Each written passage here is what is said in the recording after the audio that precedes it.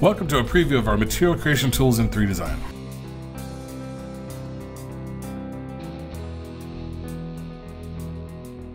There are two full videos for material creation, one covering basic editing of preset materials, and the advanced video where we cover creating materials from scratch.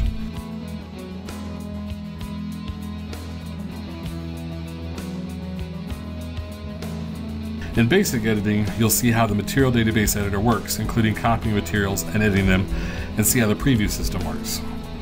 We'll make a couple of new materials using preset materials as a base.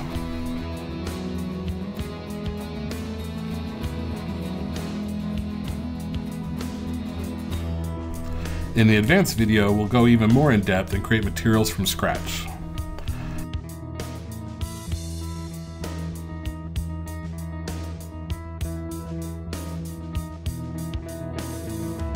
I'll show you how mixing and matching different images, colors, and effects, we can create standard metal and stone materials.